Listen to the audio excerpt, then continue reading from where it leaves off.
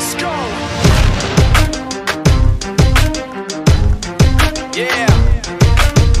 For those of you that want to know what we're all about, it's like this, y'all. Come this is 10% luck, 20% skill, 15% concentrated power of will, 5% pleasure, 50% pain, and 100% reason to remember the name.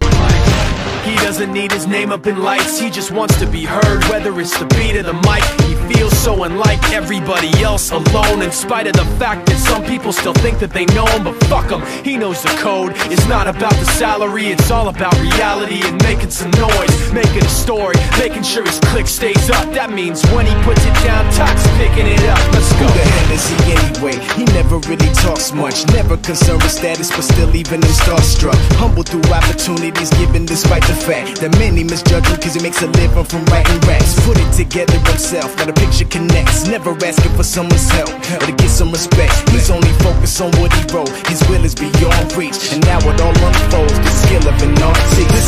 20% skill, 80% fear, be 100% clear, cause Ryu was ill. Who would've thought he'd be the one that set the West in flames? And I heard him wreck it with the crystal method, name of the game. Came back, dropped Megadef, took him to church. I like Bleach, man. Ryu had the stupidest verse, this dude is the truth. Now everybody giving them guest spots and stocks through the roof. I heard he fucking with that is 10% luck, 20% skill, 15% and 100% reason to remember the name. They call him he's sick and he's spitting fire and Mike got him out the dryer, he's hot. Found him in Fort Minor with Tak, but a fucking nihilist. Porcupine, he's a prick, he's a cock The type women wanna be within rappers Hope he gets shot. Eight years in the making, patiently waiting to blow. Now the record with notice taking over the globe. He's got a partner in crime, this shit is equally dope. You won't believe the kind of shit that comes out